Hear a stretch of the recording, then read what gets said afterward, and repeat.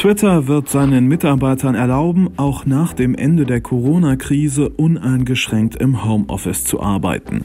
Der Kurznachrichtendienst erklärte, wenn unsere Beschäftigten in einer Rolle und Lage sind, die es ihnen erlauben, von zu Hause aus zu arbeiten und sie für immer damit weitermachen wollen, werden wir das möglich machen. Die vergangenen Wochen hätten gezeigt, dass es funktioniert, wenn Menschen an verschiedenen Orten zusammenarbeiteten. Wie die Website BuzzFeed berichtete, können die Twitter-Mitarbeiter nun auch bis zu 1000 Dollar für ihre Homeoffice-Ausstattung ausgeben. Twitter gehörte zu den ersten Unternehmen, die nach Ausbruch der Krise die Mitarbeiter zum Arbeiten ins Homeoffice schickten. Die Büros sollen nun mindestens bis September geschlossen bleiben. Das Unternehmen hatte nach jüngsten Angaben zum Ende vergangenen Jahres 4900 Beschäftigte.